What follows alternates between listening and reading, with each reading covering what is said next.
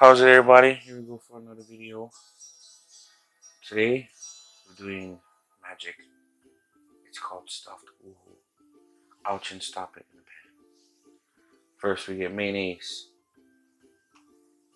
Then after mayonnaise you want to throw in some garlic, onion, lots of onion, corned beef because you need it. Lap cheong because it's.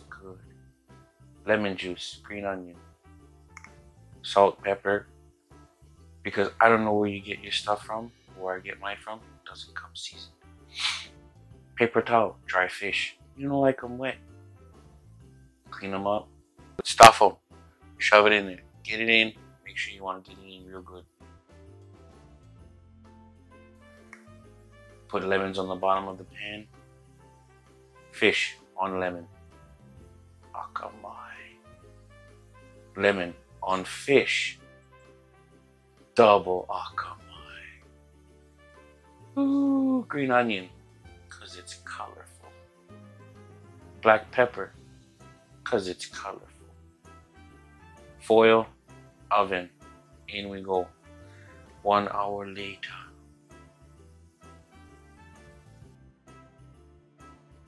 Hallelujah, hallelujah, hallelujah. Green onion, because now the thing gonna taste good. Oh, Look at, okay, I'm leaving the video so I can go eat. Thank you guys for watching. Subscribe, click, do all that stuff, and see you later.